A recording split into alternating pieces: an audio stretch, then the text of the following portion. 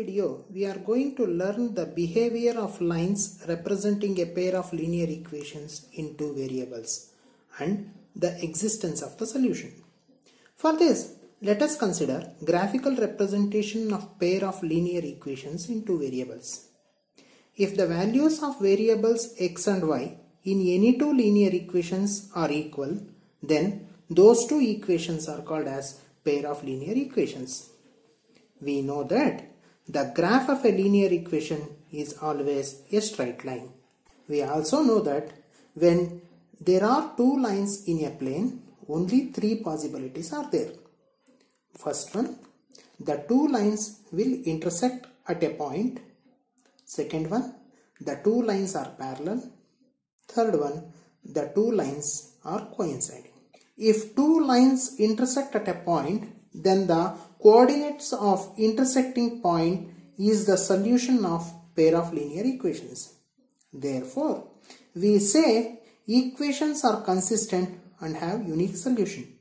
Algebraically, this can be represented by taking the ratios of coefficients of x and y of the two equations. When lines are intersecting, then a1 by a2 is not equal to b1 by b2.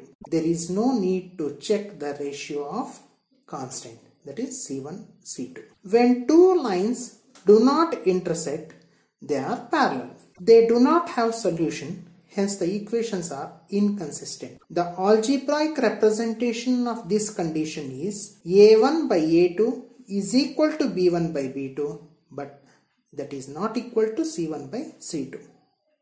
Let us see if all the ratios are equal. This is the last possible case of lines on a plane. If the two lines coincides, then every point on the line is a solution of the equations. Hence, equations are consistent with infinite solution. The algebraic representation of this condition is a1 by a2 is equal to b1 by b2 that is equal to c1 by c2. This will help us to know the existence of solutions of given pair of linear equations.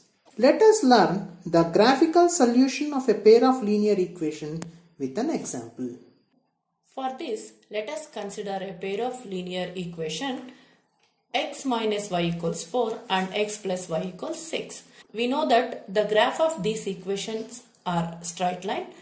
To draw a straight line, we need at least two points.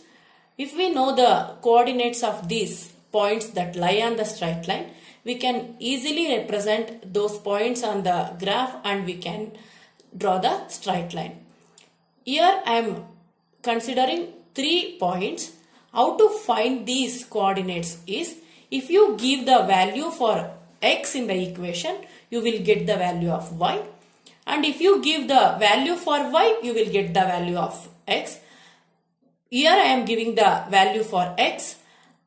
If the value of x is 4, the x minus y equals 4 can be written as y equals x minus 4 after transferring the x to RHS. The, if the value of x equals 4, the value of y is 0. If the value of x equals 5, 5 minus 4, value of y equals 1.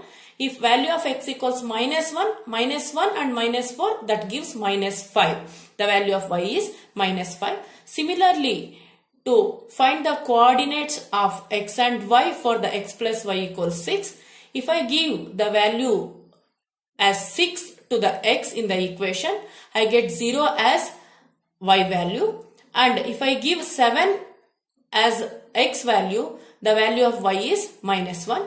If x equals minus 1, the value of y is 7. Let us plot these coordinates on the Cartesian system. First, we are plotting the equation x minus y equals 4. The first point is 4 comma 0 that is x coordinate is 4 and the y is 0. The second point is 5 comma 1 and the third point is minus 1 comma minus 5. All these three points are collinear. Now let us join these collinear points with the, the line segment. This line represents the equation x minus y equals 4. Now let us plot the second graph x plus y equals 6. The coordinates of the first point is 6 comma 0, second point is 7 comma minus 1 and the third point is minus 1 comma 7. So if we join these three points that represent the line x plus y equals 6. You can observe that these two lines intersect at the point A. The coordinates of this point A is the x coordinate is 5 and the y coordinate is 1. This 5 comma 1 is the solution of the pairs of linear equation x minus y equals 4 and x plus y equals 6. This you can verify by substituting in any one of the equation. Let us substitute in the first equation. The x value is 5 and the y value is 1. 5 minus 1 is 4. Hence LHS equals RHS.